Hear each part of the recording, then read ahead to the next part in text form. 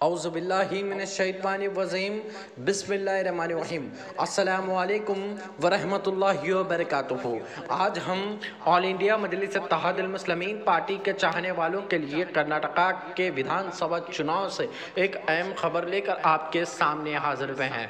जी हाँ 2023 के कर्नाटका में होने वाले चुनावी बबूल में all India Majlis Ittehadul Muslimeen party भी अपने नुमाइंदों को मैदान में उतारने जा रही है। जैसे कि आप सभी को पता ही होगा कि बीजापुर में मजलिस तहादुलमसलमीन पार्टी ने म्यूनसिपल कॉरपोरेशन इलेक्शन लड़ा था और वहाँ पर उन्होंने अपने दो उम्मीदवार कामयाब किए थे।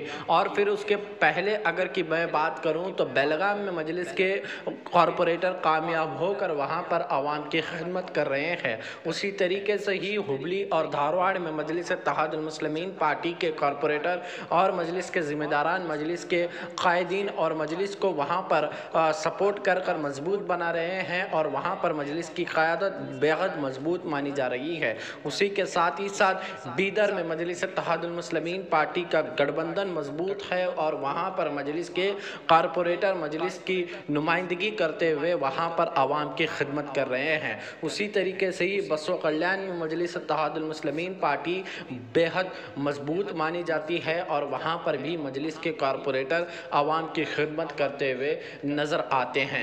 क्योंकि आज पूरे कर्नाटका में मजलिस तहादुलमसलमीन पार्टी अपनी पार्टी को बड़ी मजबूती के साथ आगे बढ़ा रही है। उसी के चलते आने वाले विधानसभा की जारी करते हुए हमारे कर्नाटका के प्रेसिडेंट अली जनाब उस्मान गनी साहब ने आने वाली चुनावी बबूल में मजलिस तहादुलमसलमीन पार्टी से उम्मीदवार खड़ाने की यहाँ पर बात करते हुए दिखाई दे रहे हैं। क्योंकि यहाँ पर मुस्लिम दलित फैक्टर एक बेहद मज़बूत तरीके से ही यहाँ पर काम कर रहा है, उसी को मद्देनज़र रखते हुए आने वाली चुनावी बबूल में मजलिस तहादुलमसलमीन पार्टी यहाँ पर भारतीय जनता पार्टी को हराने के मनसूबे के तहत यहाँ पर पर काम करेगी। और जो मजलिस के साथ गठबंधन करेगा, मजलिस के साथ यहाँ पर आना चाहेगा, उसका वेलकम करते हुए मजलिस के सदर और मजलिस के कॉरपोरेटर और मजलिस के ज़िम्मेदारान कर्नाटका में दिखाई देंगे।